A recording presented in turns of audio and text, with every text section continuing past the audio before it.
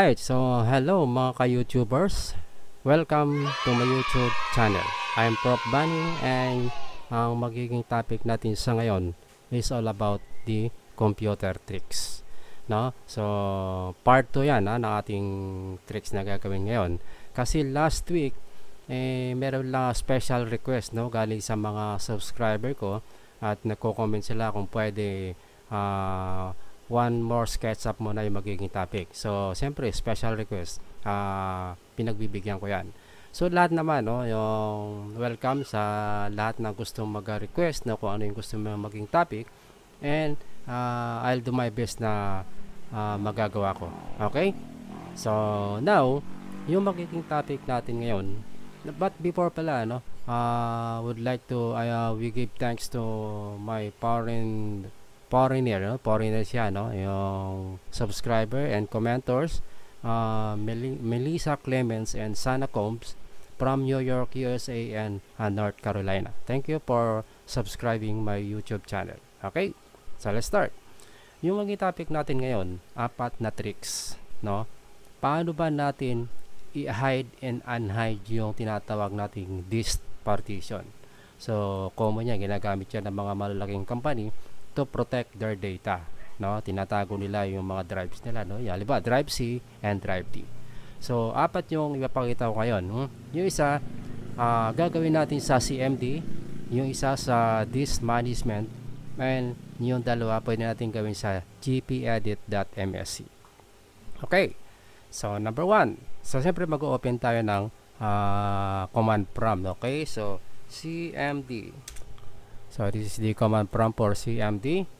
So, ngayon, uh, ang gagawin muna natin, uh, mag-hide tayo na ano ng folder through the use of uh, CMD. Okay. So, number one. So, nandito na tayo ngayon sa ating command prompt. No? C user slash jpm. So, magko-command tayo ng this part. Okay. So, D-I-S part. Okay. Pag sinabi natin this part is command line. Uh, command line utility used to manipulate this partition in all win version ng ano ng Windows, no? Windows 7, Windows 10, Windows 8 or Windows Server, no? So, yun yung magiging ano natin, yun yung function ng no, this part. Okay? So, once I enter, okay, so, i-command lang natin na yes. Okay. So, nasa this part na tayo ngayon. Ngayon, yung magiging command, ilalabas natin, ano ba yung mga, par mga partition na yun.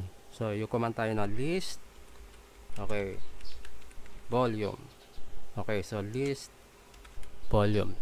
So, once i-enter ko yan, makikita natin yung mga, ano, yung mga label, ano ba yung volume, ibig sabihin yan, 0, 1, 2, 3, yung letter ng drive ng E, C, and D, and we have the partition. Ngayon, ah, uh, ang gagawin natin yan, itatago natin yung drive D. Okay, so halimbawa, uh, ano yung command? Uh, select volume 3. So, select, okay, select uh, volume 3. Kasi yung drive D is volume 3.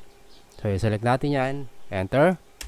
Volume 3 is the selected volume. Okay, so ngayon, itatago ko siya no? So remove. Okay so remove letter D. So ibig sabihin ito yung drive D. Okay? So wag tayo kabahan no? Remove letter D. So once I enter okay this part successfully remove the drive letter or mount point. Ngayon kung titingnan natin dun sa ano sa sa ano sa ating drive ano? So halimbawa computer makikita mo wala na yung drive D. Nakatago na siya. No? So, yun yung safe, no? Paano natin itatago yung drive na yun. Ngayon, paano mo siya ibabalik? So, magko-command ka ulit ng uh, CMD. Okay. So, CMD. So, uh, this part. Command tayo ulit ng this part. Okay. So, yes. Then, next, yung list volume. Okay, less volume. Okay, nakita mo ngayon yung volume 3. No, so yung volume 3 wala siyang ano, wala siyang drive. So ang gagawin natin 'yan, uh, select volume 3 so select uh, volume 3 enter. Volume 3 is the selected volume. So mag-assign tayo ngayon. So kanina remove ngayon. Assign kay uh, letter D so once you enter ko yan assign letter D as this part successfully assigned the drive letter or mount point. So halimbawa titingnan natin ngayon. Uh, pag inopen natin sa my computer nandun na yung drive D right? So yun kasimple kung paano mag-remove ng uh, drive through uh, CMD okay. Ngayon yung gagawin natin ngayon sa disk management naman yung tricks number 2 okay so close natin yan. So memorize nyo na ba yung ginawa natin kanina? This part list volume select volume 3 and remove letter. Kung anong letter yan. Kapag i-unhide ganun din. Uh, this part list volume then uh, select volume 3 then we have to assign kung ano yung letter na yan. Okay? So at this time ang gagawin natin ngayon paano mag-hide hide and hide through uh, this management. Okay? Pag sinabi natin this management na uh, performs multiple commands via text script or yung tinatawag natin na Microsoft Windows Utility First and Windows XP as a replacement for the FDisk no? Kasi dati pag uh, nag-install tayo no?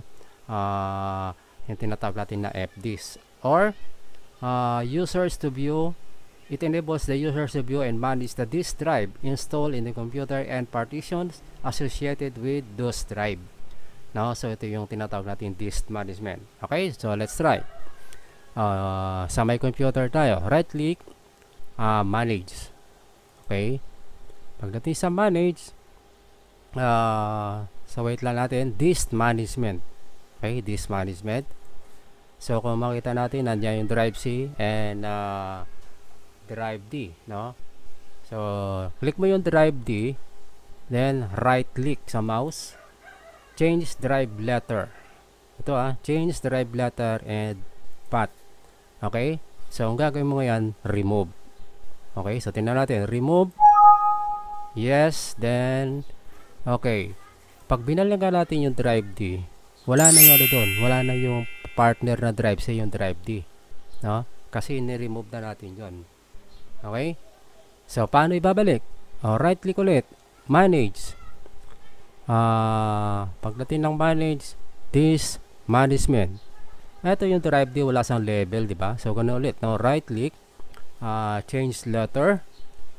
Then, uh, add. Okay. So, mag-add tayo. Ito na yung drive letter ngayon. Then, okay. So, pag binalikan natin doon sa my computer na yan, nandun na yung drive D. Diba? So, magic lang. Okay? So, magkakaiba yung kinamit natin kanina kaysa dito, no? Sa management, tsaka yung sa uh, G, uh, GP, ano, yung disk management. Okay? So, next tricks. Okay. Paano ba natin itatago yung uh, halimbawa common lang ito yung mga shutdown tsaka yung mga log off no okay or halimbawa itong drive paano natin ulit itatago yung drive through GP edit okay ano pa ibig sabihin ng GP edit no yung GP edit yung local group policy no uh, essentially a management console snap in the acts of common interface for all computer configuration in use uh, and user configuration. Okay? So, let's try. So, magko-command tayo ng uh, gp